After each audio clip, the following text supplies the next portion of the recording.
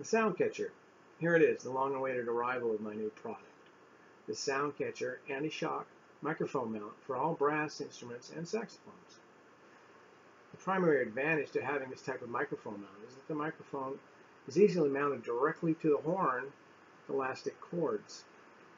As you can see, this, this greatly reduced the amount of transference of sound from non-musical sounds to the microphone. Things like valves rattling, moving the tuning slide, anything else you might do with your horn. On a gig, you get along so great with the sound engineers. Instead of waving your arm and saying, hey, hey, turn me back up. I know, I know, my horn, horn was bumping. But turn me back up now. I gotta play.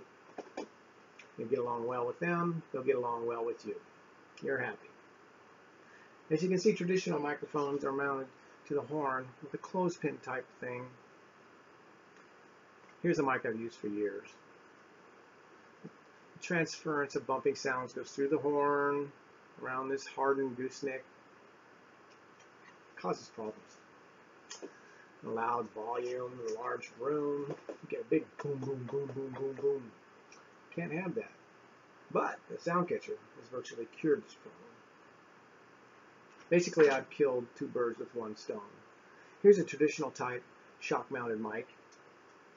As you can see, the microphone is isolated from its stand with elastic cords, reducing the amount of transference of sounds, like bumping the table.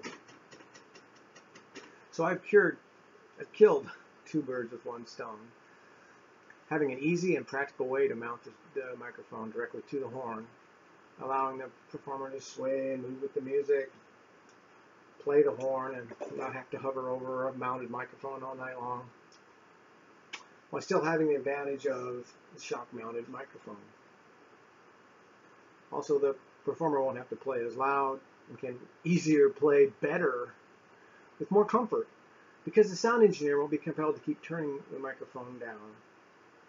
Anyway, you can find uh, most of the current information about the Soundcatcher on the web at the website here, uh, soundcatchers.net. Here's my phone number. Visit me on the web or give me a call. If you'd like to make an order, great you need something a little different that you think I might be able to help you with, love to hear from you. Give me a call. Thanks for your attention. Good day.